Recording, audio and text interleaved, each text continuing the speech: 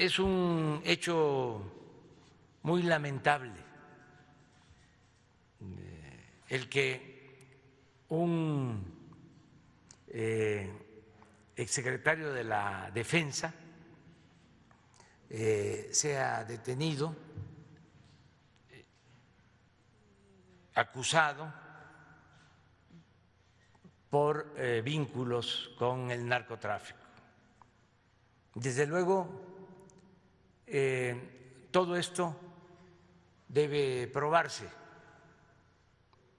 No podemos adelantar vísperas, no podemos hacer juicios sumarios, son procesos legales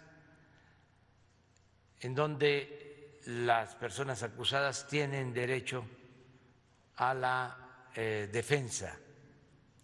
Estamos ante una situación inédita porque está eh, detenido por la misma acusación el que fue secretario de Seguridad Pública de Felipe Calderón. Y ahora detienen al secretario de la Defensa durante el gobierno de Enrique Peña Nieto.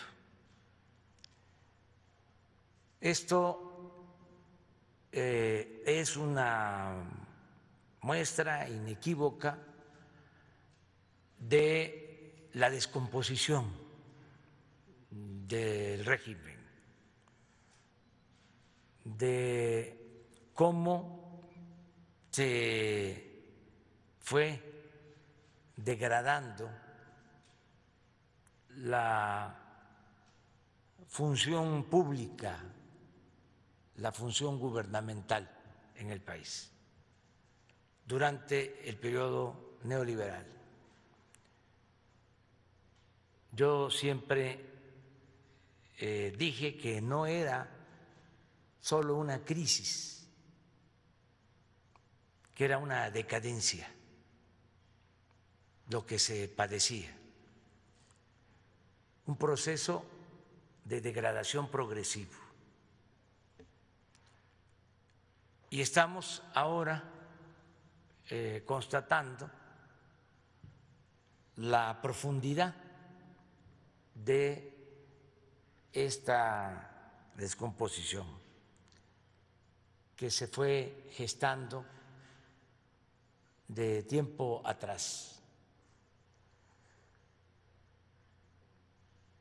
Tenemos que seguir insistiendo y ojalá también esto sirva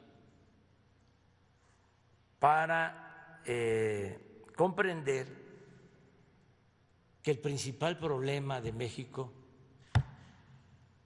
es la corrupción.